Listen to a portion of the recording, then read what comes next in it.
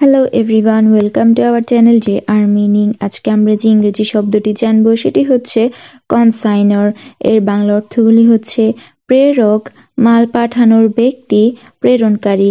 নিচের দুইটি উদাহরণ দেওয়া হলো। প্রথম উদাহরণটি হচ্ছে the consignor shipped the goods overseas এর বাংলা অর্থটি হচ্ছে, প্রেরক পণ্যগুলি বিদেশে পাঠিয়েছেন।